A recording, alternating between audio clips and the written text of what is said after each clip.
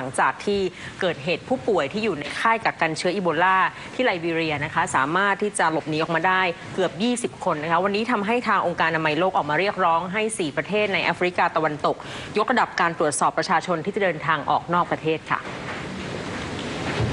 องค์การอนามัยโลกได้ออกแถลงการเรียกร้องให้ 4 ประเทศในแถบตะวันตกของทวีปแอฟริกา คือกินีไลบีเรียไนจีเรีย และเซราลีโอน ที่กำลังเผชิญกับการแพร่ระบาดอย่างหนักของเชื้อไวรัสอีโบลา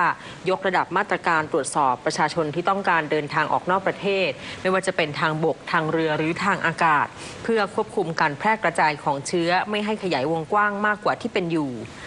องค์กรอนามัยโลกนะคะได้ยืนยันนะคะว่าอัตราการแพร่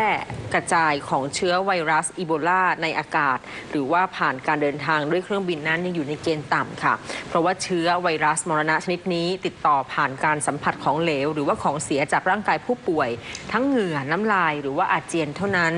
แต่ว่าการเรียกร้องขององค์การอนามัยโลกที่บอกบอกว่าอยากจะให้ทาง 4 ประเทศในแอฟริกาตะวันตกยกระดับ การตรวจสอบประชาชนที่เดินทางออกนอกประเทศก็เป็น เพราะว่ามีเหตุการณ์หนึ่งเกิดขึ้นค่ะ มีกลุ่มคนร้าย บุกปล้นสะดม แล้วก็ทำลายข้าวของในศูนย์กักกันผู้ป่วยจากเชื้อไวรัสอีโบลาในกรุงมันโรเวียเมืองหลวงของไลบีเรีย เมื่อวันเสาร์ที่แล้ว ก็เป็นเหตุให้มีผู้ถูกกักกันทั้งหมด 17 คน ซึ่งเป็นผู้ป่วยที่ติดเชื้อเนี่ยนะคะคุณผู้ชมหลบหนีออกไปได้ค่ะทางกระทรวงสาธารณสุขไลบีเรียบอกว่าอยู่ระหว่างการติดตามตัวทุกคนให้กลับมารับการรักษา แต่ว่ายังบอกไม่ได้นะคะว่าจะสามารถเเรียกตามกลับมาได้กี่คนและกลับมาได้เมื่อไหร่ด้วยนะคะครับ